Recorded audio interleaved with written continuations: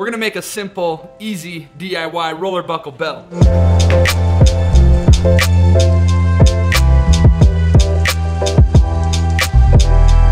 I've done a video on a belt before, but this one's gonna be even more simple. This one has no stitching included. It's gonna be a single layer of leather. This is a really simple and quick way to make a belt, but you're still gonna get something really quality and rugged in the end. All right, so let's do it. On my last trip to Tandy, I picked up one of these European single bends. I usually like to use bends when I'm working with belts because that's the strongest section of the hide, especially when you get down here closer to the butt. So it helps if you put the billet end of a belt down on the stronger area and the buckle side over here by the shoulder. Oh, and I also picked up one of these books from Tandy. It's called Belts Galore uh, by Al Stohlman. This guy is the man. There's so much good information jam-packed in these books. In fact, this page right here, they go, they talk all about sizing. And if you remember my last belt video, I expressed that I've had some frustration trying to get the sizing right on a belt. He goes into detail about sizing belts. So if you're having a hard time with belts, go pick up this book and just give it a read. It's amazing. Okay, so the first thing we have to do is get a nice straight line along the edge of our bend here. So I'm just gonna use this big long straight edge that I have and my little uh, Al Stohlman signature brand head knife. I'll be sure to put a link down in the description for all the tools that I use in this video. I'm gonna mark my line first with my stitching awl, just so that I know I've got it straight before I make any cuts. Now I'm just using that line I made as a guide so that I can go through it with my head knife here and make my cut.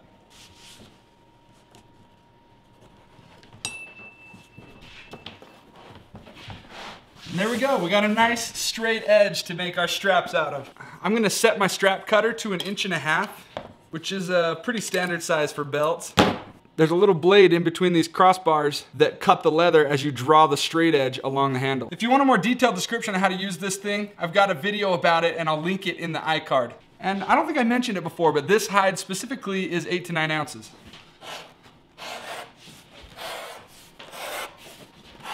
Yeah, there it is. And then I'm gonna make a three quarter inch strip here. This is for the keeper on the belt. So, of course, there's more than one way to skin a cat, whatever that means. You could go through and cut all this, the shapes, everything out by hand, or you can make life a lot easier by using punches like this strap end punch right here. And you can use an oblong hole punch to make the hole that the tongue of the buckle goes through. And then you could use a rotary punch to make your holes. Or we can go over and use my new tipping machine because I'm really excited about it. Let me show you what that's all about. All right, this machine is gonna make your life so much easier if you make lots of belts. It's basically the same as a clicker press. It comes with this cookie cutter die that basically has all of the holes and cuts that you need for each end of the belt. This is for the billet end, and this one obviously is for the buckle end. It's got the oblong punch with the two rivet holes. So I'm gonna slide that in, lock it in tight, so I'm gonna cut my buckle end strap out right here.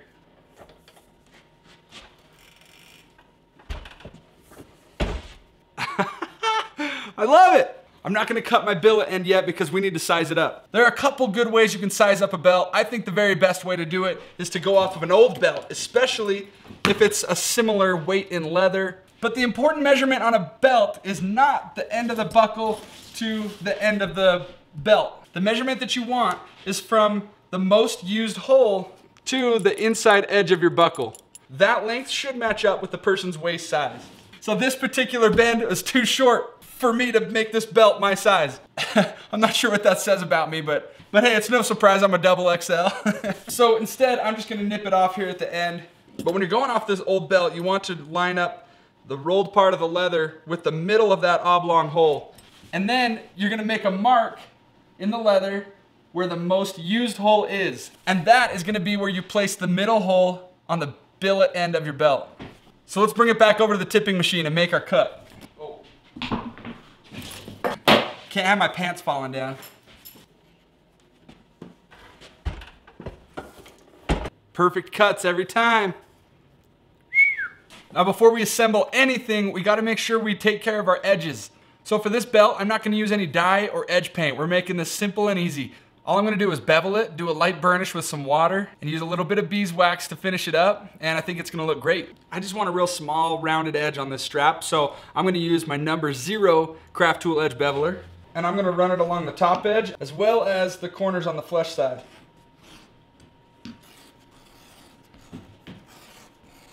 So these are the basic tools we're gonna use to burnish our edge. I've got just a little bit of water.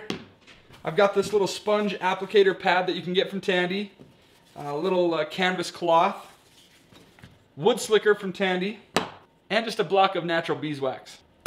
And this is just a simple little strap jig that I built myself out of some blocks of wood.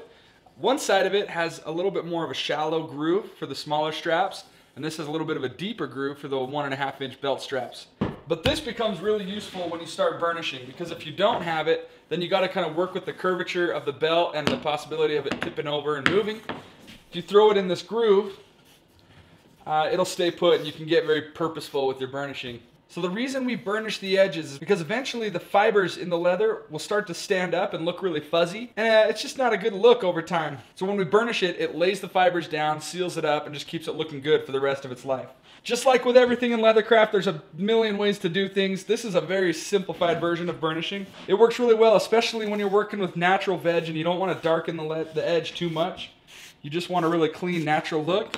I'm just gonna put water on it first, just a little bit. Run the slicker down a couple times with a smaller groove, and then work up to a larger groove so that you're eventually hitting a flat surface.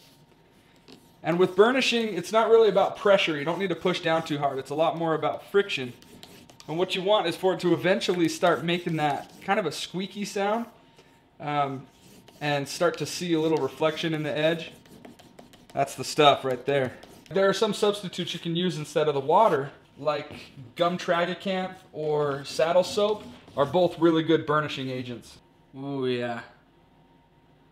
We're getting a really nice finish there.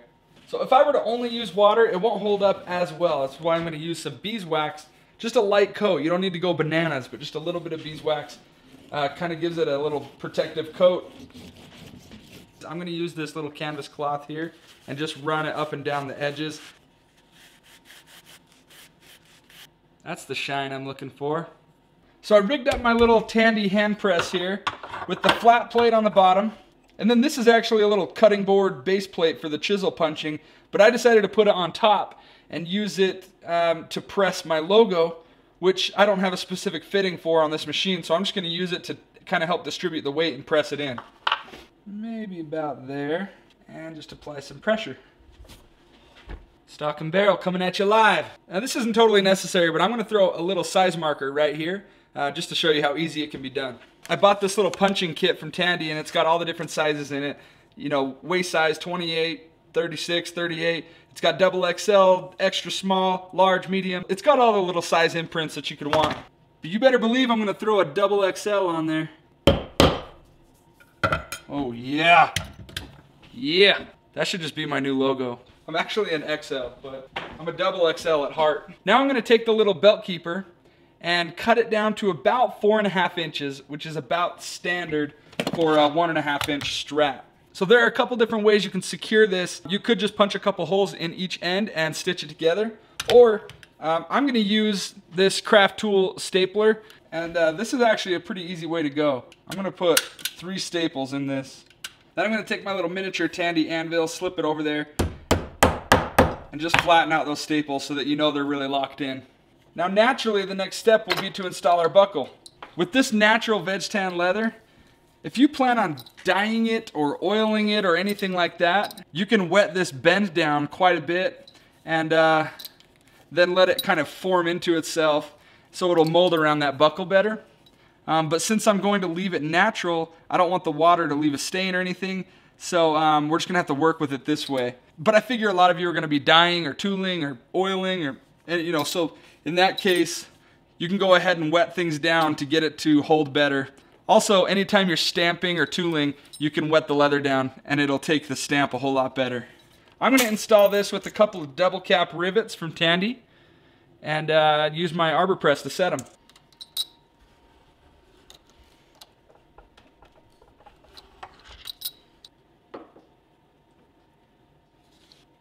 Okay, quick note about the tipping machine. I hope this doesn't add too much confusion because this is new to me. I was testing all of this out for the first time. Apparently the two rivet holes are quite a bit closer together than I would probably like to have them.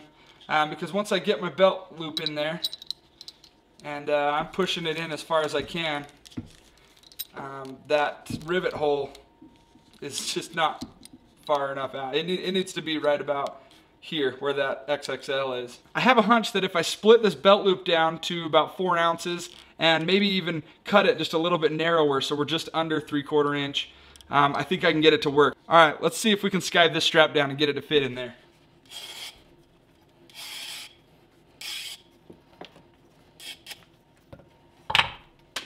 Thank goodness I've got this deluxe splitter right here. I've got it set to about four ounces and I'm going to split this whole strap down.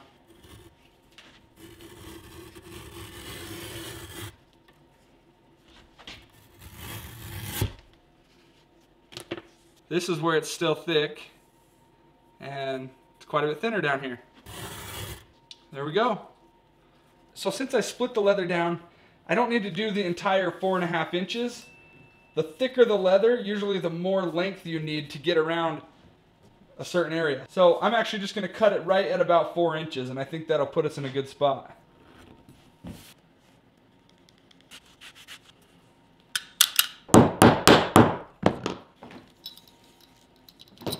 I can see daylight through that hole, so that's a good sign.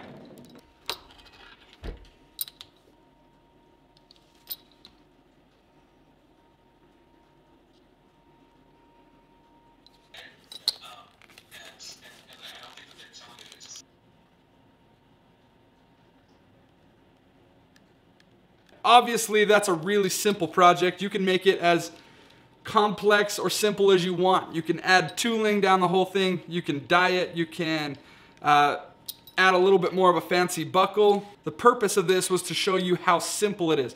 Oh, and quick disclaimer, I did use a lot of uh, Tandy's machinery from their new line, but everything that I did can be done using simple, basic entry-level hand tools. The good news is you can make a beautiful, simple product like this all on your own by simply just walking into any Tandy store and picking up some basic tools. That's one of the things I love about Leathercraft is you don't need to make a massive investment in equipment, machinery, anything like that to make beautiful products. That's how I got started in it. That's how a lot of people get started in it. It's just, this, this, these kind of projects are so fun because all of the techniques that go into making a belt are essentially the same things that most Western tack and saddlery guys are doing, but it's something that you can make for yourself that you'll personally use every day. All right, so go get some leather, get some basic tools, and show me what you're making. You guys know I love to interact with you. I love seeing images of what you're making, and uh, that's, that's what this is all about for me. Let's read some comments. I haven't done this in a while, so we might have to, oh yeah, we need to go to the,